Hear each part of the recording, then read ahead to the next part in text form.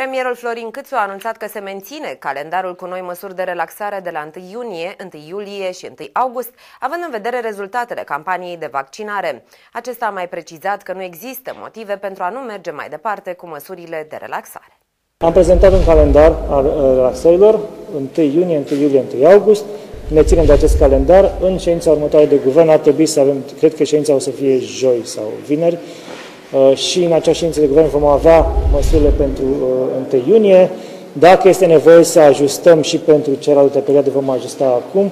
Uh, am avut și discuții cu cei care sunt afectați direct, vom îmbunătăți unele dintre măsuri în funcție de, ce, de aceste discuții. Rolul campaniei de vaccinare este acela de a scăpa de pandemie. Asta este rolul campaniei de vaccinare.